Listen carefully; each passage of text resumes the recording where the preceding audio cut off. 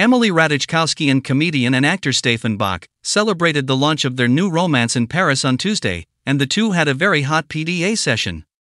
After divorcing spouse Sebastian Bear-McClard last year, the 32 year old supermodel, who has dated celebrities like Eric Andre, DJ Orazio Rispo, and Harry Styles, looked enamored with the 27 year old French star as they shared a kiss on the street and clutched wine glasses.